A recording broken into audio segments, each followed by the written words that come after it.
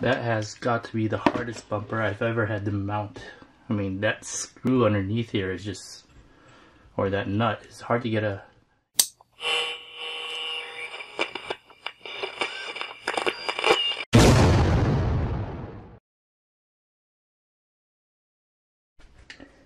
Hey guys, welcome back to REVolutionX RC. Welcome to the next part of my Gmade Sawback Sport build. In this part of the series, we're going to mount the bumper as well as some of the electronics uh, components like the receiver box cover, the battery zip ties, as well as the wheels and tires. For step 31, or the bumper, you'll need two uh, M3 flange nuts and two M3 by 8 screws here are the Team K and K equivalents.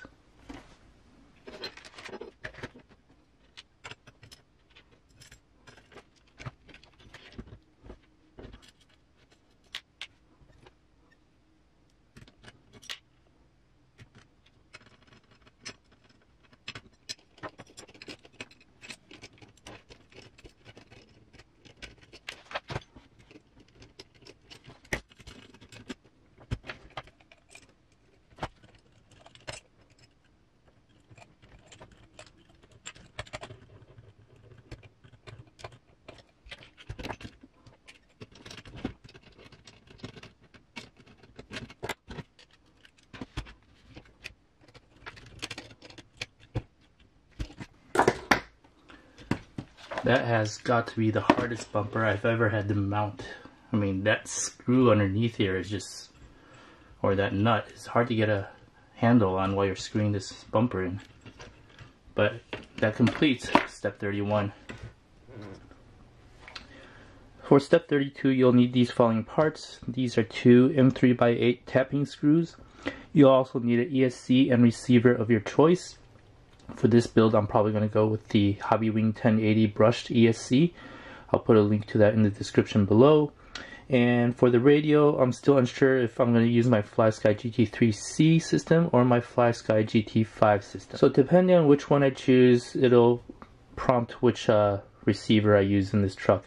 Either the FSBS6 for the FlySky GT5 or a FSGR3E for the FlySky GT3C. And I'll put a link to those in the description below as well.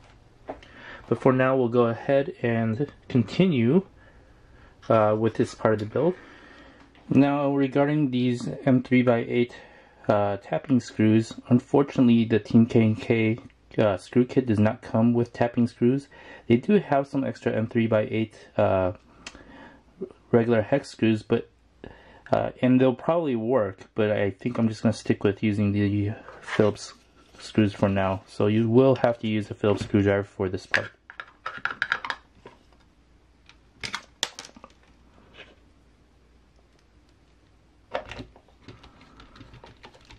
Now just lightly tighten it for now because I don't actually have my receiver in.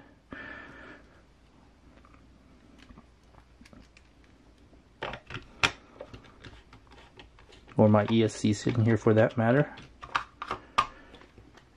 And that pretty much completes step 32. For step 33, you'll just need these zip ties.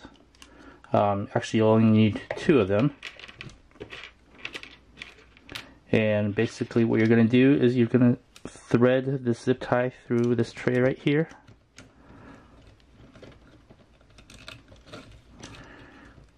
Order to zip tie the battery. Now I'm actually not going to end up using this. I'll probably use velcro straps instead. Uh, I just don't like using these zip ties. So with that being said, that completes step 33. For step 34 you'll need these following parts and basically all the hardware that comes packaged with the wheels. For step 34 you'll need the following and as far as the hardware goes, you'll notice that two of the screws are longer than the rest. And basically what these are for is to help you mount the, the wheels or the beadlocks. So these are the longer ones.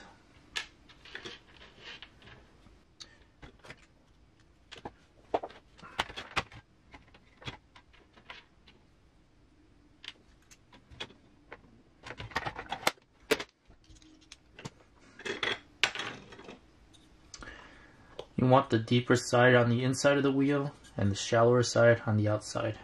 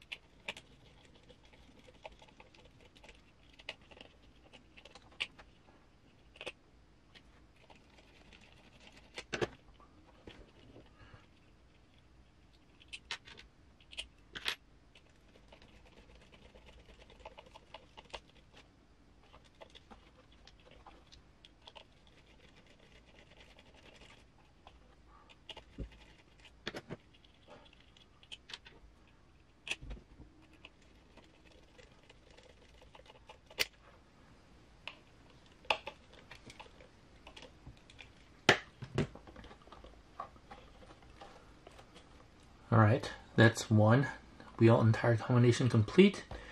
And I'm pretty much going to do the same thing for the other three. So we'll be right back when I finish all of them.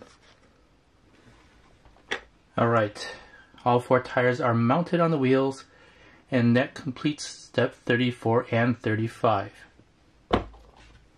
For step 36, you'll need these parts off of the axle tree, these M4 nuts, and these pins.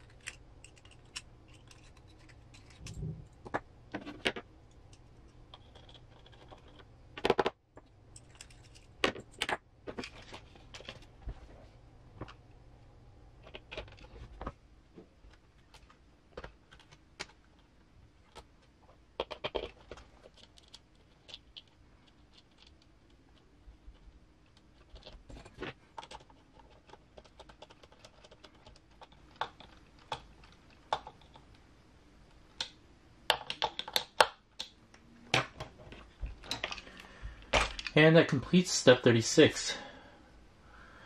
This also completes this part of the build series. Uh, some of the electronics uh, trays and, and receiver boxes, as well as the wheels and tires. Uh, thanks for watching. Please like and subscribe and hit that notification bell for the next part of my King Solvay build series. Thanks for watching.